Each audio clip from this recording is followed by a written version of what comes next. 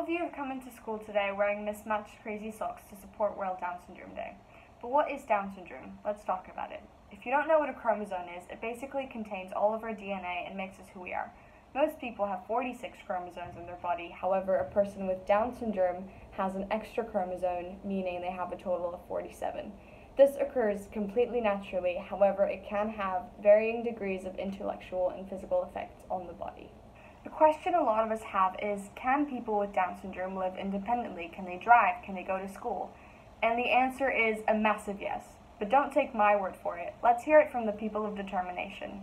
Can a person with Down syndrome have a job? Absolutely, they can. I work at Lone Star Texas Grill, and I love it. I uh, assist host there. I also clean there, and I wish I can work there for full time. You asked if a person with down syndrome can live on their own.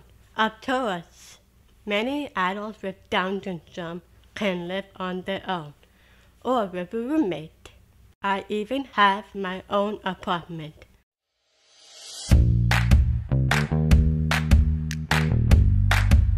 Diversity is really important at Sunmarke School so that we can all learn from each other.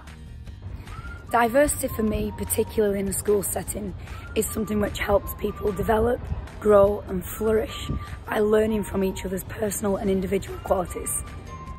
I think the world would be very boring if everyone was the same. Diversity may be one of the hardest things for a society to live with, but also one of the most dangerous things for a society to live without. Diversity is about embracing one another's differences and uniqueness. People have their own ideas and have own opinions. Diversity to me means accepting people no matter their background. I think diversity is important because you need to be aware of the experiences of different people around the world.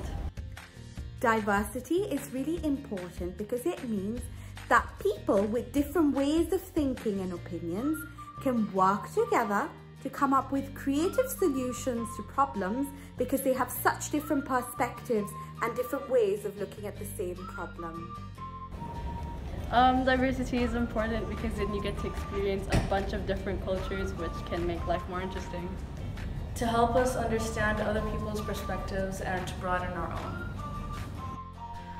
I believe diversity is the coming together of people from different cultural, social and racial backgrounds with various interests, viewpoints and experiences.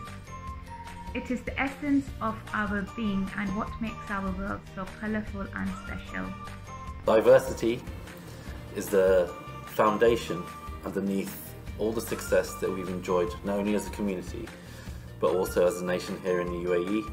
Uh, not only should it be appreciated, but I believe it should be celebrated at every opportunity. We have just heard about the importance and beauty of diversity. Lots of Socks allows us to celebrate this diversity in a positive light as well as a really fun way. Don't forget to rock those socks and happy World Down Syndrome Day, everyone.